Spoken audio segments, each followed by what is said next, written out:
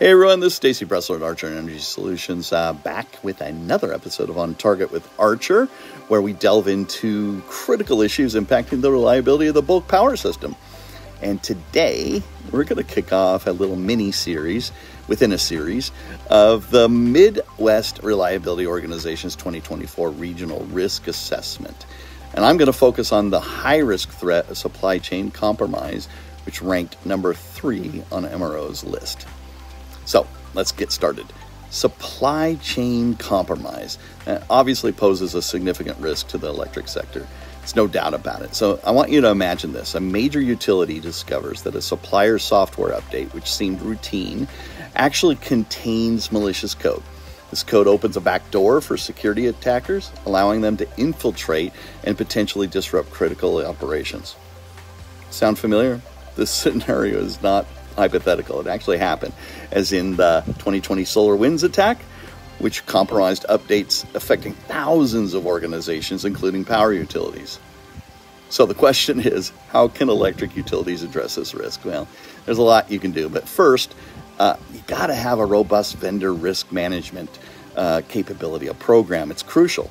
This involves, you know, thoroughly vetting all, all your suppliers, ongoing monitoring, and ensuring that they're adhering to to strict security standards, security standards that you would expect to be done.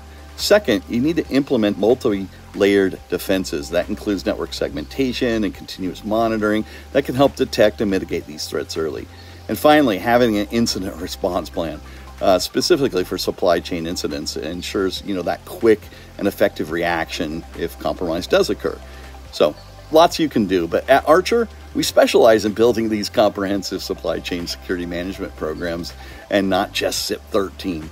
If you need help enhancing that, your, your, defenses for supply chain, give us a call. Let's work together to safeguard our critical infrastructure. So stay tuned for their next episode where we tackle another high risk threat identified by MRO. Until then, stay vigilant and stay secure. Don't miss out on any of our insightful content.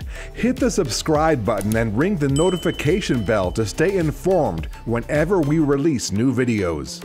For top tier security solutions, Archer is your trusted partner. Explore our offerings at archerint.com and get in touch via email or phone to fortify your company's defenses.